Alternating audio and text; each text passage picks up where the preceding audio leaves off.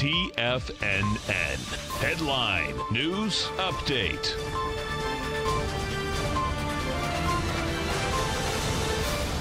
Good morning, everybody. I'm Tommy O'Brien coming to you live from TFNN headquarters in St. Petersburg, Florida. It's Wednesday, 9 a.m. Eastern Time, 30 minutes to go until the opening bell, and we're going to have a positive open, it looks like, coming into that July 4th holiday. We'll see how we go. Half day today, trading until 1 o'clock. Tomorrow will be closed back for a full day on Friday. Right now, we get the Dow futures up 53 points, trading at 26,000. 850. S&P up about 6 at 29.86. We got Nasdaq futures up 18 points at 78.56.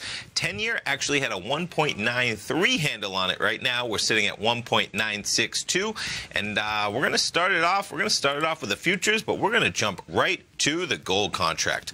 Quite an overnight session for gold. I'm even going to expand this chart a bit as we check it out. So last night at about 9 o'clock, we climbed all the way up to 1440 on that gold contract. The previous high had been about 1442.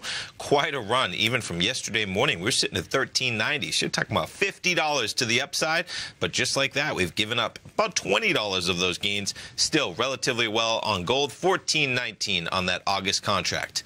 Jumping over to some of the other futures contracts, the Dow trading higher. And before we get into them, the news of the morning, ADP Payrolls rising by just 102,000. The expectation had been for about 135,000. That's private payrolls. We're going to have the government jobs number on Friday, so that may be an indication of some weak job creation.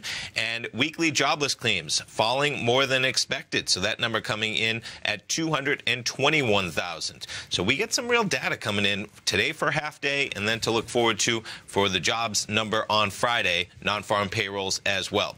NASDAQ 100, pretty similar story, 78.53, made it as high as 78.70. S&P is trading at 29.85, just a few points off of that high.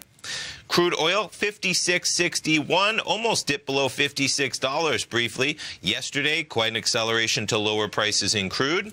And the euro US dollar trading 112.82. In terms of other news out there, Tesla having a good morning as that stock surges after setting new delivery and production records, delivering 95,000 vehicles, producing 87,000 vehicles in the second quarter.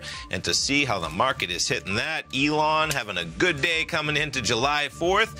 $239 closed yesterday at 224 so looking to pop about $15 on the open Stay tuned, folks. Larry Pesavento coming up right now. I'll be back at 10 o'clock with Tom. Fast Market at 11. Basil Chapman at 12.